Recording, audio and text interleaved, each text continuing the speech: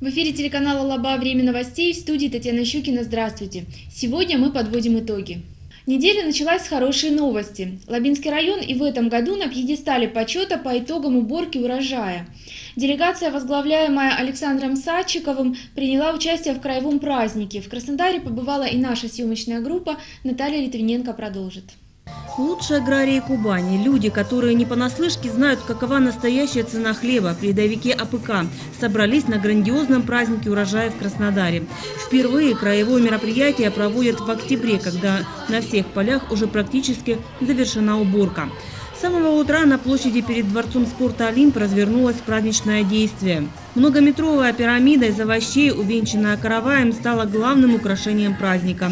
Здесь расположили все дары осени. Гостей угощали горячим чаем, который разливали из огромного самовара. А рядом на площадке стояли празднично оформленные автомобили «Нива». Они предназначены для чемпионов жатвы 2017. В этом году кубанские аграрии собрали рекордный урожай – 14,7 миллионов тонн зерновых и зернобобовых культур. Тружеников полей и победителей конкурса профессионального мастерства среди работников основных отраслей агропромышленного комплекса Краснодарского края приветствовали творческие коллективы Кубани. И первым героев дня поздравил губернатор. В своем выступлении Вениамин Кондратьев отметил, что люди, собравшиеся в зале, это опора и сила кубанской земли. Глава региона поздравил аграриев с очередным рекордом. Впервые в этом году в промышленных объемах собрана пшеница второго класса. На агропромышленный комплекс приходится самый большой объем инвестиций в крае. В этом году выделено свыше 6 миллиардов рублей господдержки. Власть будет делать все возможное, чтобы повышалось качество жизни на селе, заверил, обращаясь к участникам праздника, Юрий Бурлачко, председатель законодательного собрания края. Вопросы агропромышленного комплекса и социального развития села – находится в центре внимания депутатов Законодательного собрания Краснодарского края. И я гарантирую, что такой подход и такая работа будет продолжена. Настал самый торжественный момент – награждение победителей конкурса профессионального мастерства среди работников основных отраслей агропромышленного комплекса Краснодарского края. На сцену за заслуженными наградами поднимались представители муниципальных образований, занявшие призовые места. И вновь Лабинский район в числе победителей. В этом году по южно-предгорной зоне лабинские труженики получили в среднем по 58,5 центнера с гектара. А это третий результат по итогам краевого соревнования. На пьедестал почета пригласили главу района Александра Сальчикова и его заместителя по агропромышленным вопросам Олега Кухно. Губернатор им вручил благодарности. Э, Лабинский район в 16 раз э, завоевывает э, призовое место по южно-предгорной зоне. И вот когда подытожили э, итоги уборки урожая, то увидели, что показатели достаточно высокие. И не только э, э, по зерновым культурам. Я хочу сказать, что этот год в целом, он очень своеобразно удачный год. Высокие урожаи э, зерновой кукурузы, сои, подсолнечника, сахарной свеклы – ведь э, сегодня э, взяты такие уровни, о которых только в свое время мечтали. Это все дается трудом и большим трудом э, хлеборобов, тружеников полей. И вот сегодня их особенно хочется поздравить, потому что это кормильцы. Лидеры агропромышленного комплекса получили благодарность от губернатора. А четверки победителей жатвы 2017 подарили машины «Лада Нива». Для создания праздничного настроения перед гостями праздника выступили самые лучшие и яркие творческие коллективы Краснодарского края. Под громкие овации они танцевали, пели и заряжали невероятной энергетикой каждого, кто сидел в зале. Далее Твининка, Горисаков, телекомпания «Лаван» график приема граждан депутатами, изменение бюджета, нормативы градостроительного проектирования поселений и другие вопросы обсудили на 31-й сессии Совета района. В работе заседания приняли участие первый заместитель главы района, руководители отделов и управления администрации. Наталья Литвиненко расскажет подробнее. На повестку дня было вынесено 13 вопросов. Первым слово взял председатель Совета. Ренат Жарков предложил депутатам утвердить новый график приема граждан. Это связано с тем, что в сентябре Владимирский избирательный округ пополнился двумя депутатами. 10 сентября 2017 года по Владимирскому трехмандатному избирательному округу номер 6 в состав Совета избраны Михайлов Владимир Александрович и Виноградов Евгений Александрович. Как вы помните, коллеги, у нас было два решения по графику приема э, граждан нашими депутатами. Первое – прием на своих рабочих местах или избирательных округах и с появлением депутатской комнаты в администрации района. Второе решение – прием в кабинете номер 114. Сейчас мы объединяем эти решения в одно, вносим дополнения по вновь избранным депутатам и отменяем предыдущие два решения. Чаще всего к народным избранникам обращаются по личным вопросам. Депутаты ведут прием граждан согласно установленному графику. Евгений Виноградов каждую пятницу после 14 часов на рабочем месте в Музее истории краеведения или в районной администрации в последнюю пятницу месяца с 10 часов. Со своими вопросами жители района могут обратиться к депутату Михайлову. Он готов выслушать каждого в последний понедельник месяца с 10 часов в кабинете директора Лабинского хлебозавода или в администрации в последний понедельник месяца с 14 часов. Здесь же депутаты утвердили наименование и состав комитетов, а также состав общественной комиссии по предварительному рассмотрению ходатайств о присвоении звания «Почетный гражданин Лабинского района». Далее на сессии районные финансисты предложили депутатам рассмотреть изменения в бюджете. Предлагаем увеличить плановые показатели по единому налогу, взимаемому по упрощенной системе налогообложения – на полтора миллиона рублей.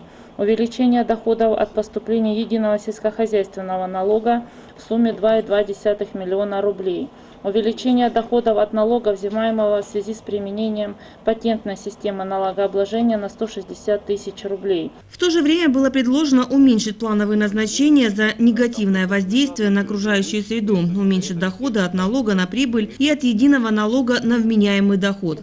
Также предложено снизить доход от реализации имущества, которое находится в собственности муниципалитета. В целом доходы уменьшатся на 9 миллионов рублей. При этом поступили дополнительные выделенные лимиты из края почти на 15 миллионов рублей. Екатерина Спиридынкова подробно рассказала, как распределены эти средства. Депутаты единогласно проголосовали за изменение бюджета.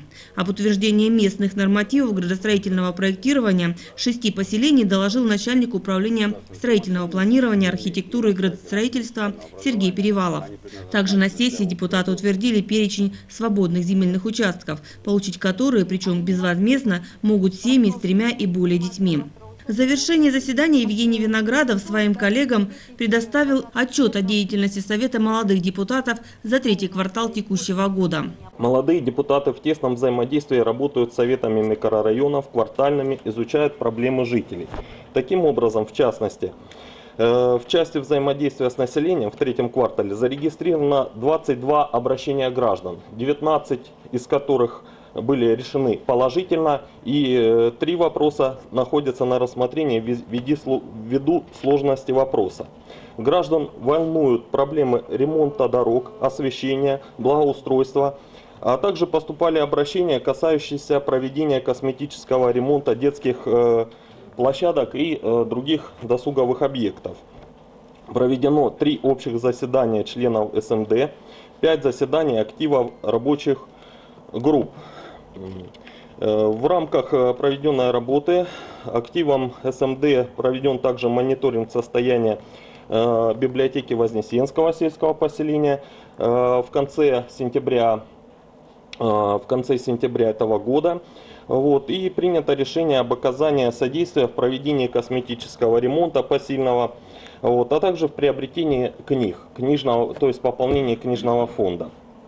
Э, также проведен мониторинг состояния спортивных многофункциональных площадок, на которых совместно с волонтерами э, проведен косметический ремонт. В четвертом квартале молодые депутаты планируют провести обучение членов Совета, чтобы в дальнейшем они стали активными участниками проекта «Помощник депутата». Все вопросы повестки на сессии рассмотрели. По каждому принято положительное решение. Наталья Твиненко, Горисаков, телекомпания «Лаба». Четвертый вопрос. Началось благоустройство 39-го квартала 6-го микрорайона. На улице Кордонной установили спортивно-игровую площадку. Подробности в нашем следующем сюжете. Шестой микрорайон активисты назвали лучезарным. Такое же название присвоили и спортивной игровой площадке, которая расположилась по улице Кордонной. Наша площадка э, открылась по просьбе, многочисленной просьбе наших жителей.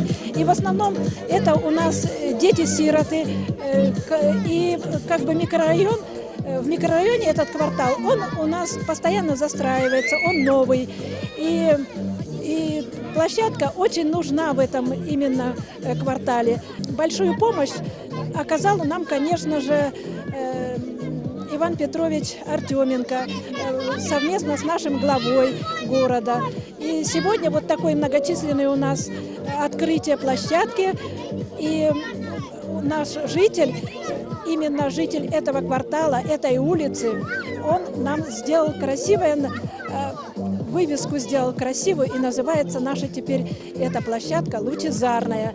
В начале праздника площадку осветили. Чин провел настоятель храма святого великомученика Пантелеймона. Качели, горка, песочница, беседка. В 39-м квартале живет более 500 детей. Они с удовольствием начали осваивать новое оборудование. Будет чем заняться и взрослым. Для них предусмотрели лавочки и несколько спортивных тренажеров. Конечно, это радостное событие. К бабушке в гости приезжаем, а выйти негде с детем детем. А так можно и покататься вот на тренажерах, и посидеть на лавочке, пообщаться с детем. Нравится, детям некуда было деться, а сейчас тут э, красота.